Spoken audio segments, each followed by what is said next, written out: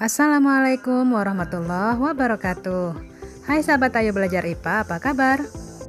Di video kali ini kita akan belajar mengenai struktur dan fungsi jaringan tumbuhan Langsung saja, ayo kita belajar IPA bersama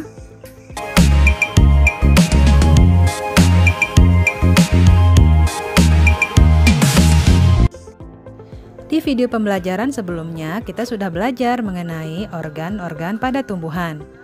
Organ tumbuhan tersusun atas berbagai jenis jaringan. Jaringan adalah sekumpulan sel yang memiliki struktur yang sama yang membentuk suatu kesatuan untuk memberikan fungsi tertentu. Sel-sel pada tumbuhan yang memiliki struktur yang sama akan terintegrasi menjadi suatu jaringan dan memberikan fungsi tertentu pada tubuh tumbuhan. Berdasarkan aktivitas pembelahan sel penyusun jaringan selama masa pertumbuhan dan perkembangan, Jaringan tumbuhan dapat dikelompokkan menjadi jaringan meristem atau jaringan embrional dan jaringan permanen atau jaringan dewasa. Jaringan meristem atau disebut juga jaringan embrional adalah jaringan yang sel-selnya aktif membelah diri secara mitosis.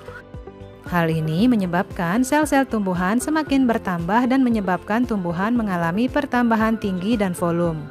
Berdasarkan asal terbentuknya, jaringan meristem dapat dikelompokkan menjadi dua, yaitu meristem primer dan meristem sekunder. Meristem primer adalah jaringan meristem pada tumbuhan yang sel-selnya aktif membelah. Meristem primer pada umumnya terdapat pada ujung batang dan ujung akar. Oleh karena itu, meristem primer menyebabkan pertumbuhan primer pada tumbuhan atau pertumbuhan vertikal atau perpanjangan akar dan batang. Sementara itu, meristem sekunder berasal dari sel-sel dewasa yang berubah sifatnya menjadi meristematik kembali atau aktif membelah kembali. Contohnya adalah kambium pembuluh atau kambium vaskuler dan kambium gabus atau velogen. Kambium vaskuler merupakan lapisan sel-sel yang aktif membelah yang terletak di antara pembuluh angkut silem dan floem. Kambium vaskuler ini banyak terdapat pada batang dan akar tumbuhan dikotil, sedangkan tumbuhan monokotil pada umumnya tidak memiliki kambium vaskuler. Aktivitas kambium ini menyebabkan tumbuhan mengalami pertumbuhan sekunder sehingga batang menjadi besar. Aktivitas pembelahan kambium vaskuler ke arah dalam akan membentuk silem sekunder, sedangkan pembelahan ke arah luar akan membentuk floem sekunder. Selanjutnya yaitu jaringan dewasa.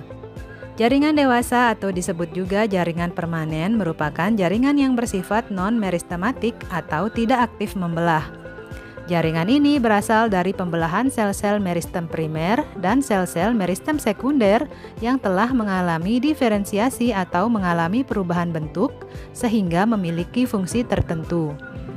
Berdasarkan fungsinya, jaringan dewasa dibedakan menjadi empat, yaitu jaringan pelindung, jaringan dasar, jaringan penyokong, dan jaringan pengangkut. Jaringan pelindung terdapat di seluruh permukaan luar tumbuhan. Tumbuhan membutuhkan jaringan pelindung untuk melindungi bagian dalam tumbuhan dari berbagai pengaruh luar yang merugikan. Misalnya, hilangnya air akibat suhu yang meningkat dan melindungi dari kerusakan mekanik.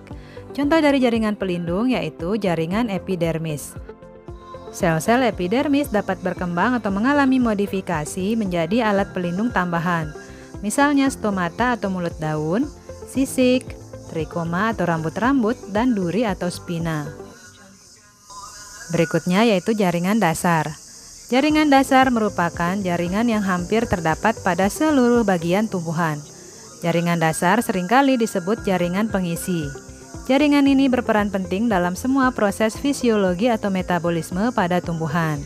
Contoh dari jaringan dasar ini yaitu jaringan parenkim. Jaringan parenkim dapat berdiferensiasi menjadi banyak jenis jaringan parenkim lain. Misalnya, pada buah dan umbi, parenkim berdiferensiasi menjadi parenkim cadangan makanan yang berfungsi untuk menyimpan cadangan makanan bagi tumbuhan.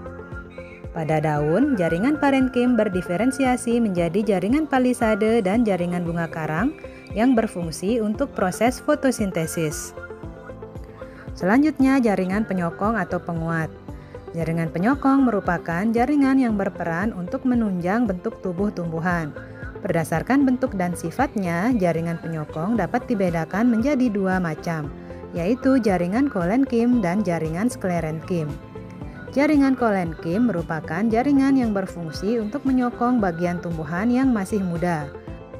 Sel-sel jaringan kolenkim memiliki dinding sel yang mengalami penebalan, namun tidak merata. Sementara itu, jaringan sklerenkim merupakan jaringan penguat yang bersifat permanen. Jaringan sklerenkim berfungsi untuk menyokong tubuh tumbuhan yang sudah tua. Berdasarkan bentuk selnya, jaringan sklerenkim dibedakan menjadi dua, yaitu jaringan serat atau fiber dan jaringan sklereid. Jaringan serat terdiri atas sel-sel yang memanjang, meruncing pada kedua ujungnya, dan tersusun membentuk benang. Jaringan serat banyak ditemukan pada jaringan silem. Sementara itu jaringan sklereid terdiri atas sel-sel yang pendek dan memiliki bentuk yang tidak teratur. Jaringan sklereid ini banyak ditemukan pada kulit kacang atau buah pir. Yang terakhir yaitu jaringan pengangkut atau vaskuler. Jaringan pengangkut terdiri atas dua jenis, yaitu silem dan floem. Silem berfungsi untuk mengangkut air dan zat-zat terlarut di dalamnya dari akar menuju daun. Sedangkan floem berfungsi untuk mengangkut makanan hasil fotosintesis dari daun ke seluruh tubuh tumbuhan. Nah, itu dia struktur dan fungsi jaringan tumbuhan. Semoga dapat dipahami. Jadi, cukup sekian dulu video pembelajaran kita kali ini. Selamat beraktivitas, jangan lupa untuk tetap mematuhi protokol kesehatan. Sampai jumpa lagi. Wassalamualaikum warahmatullahi wabarakatuh.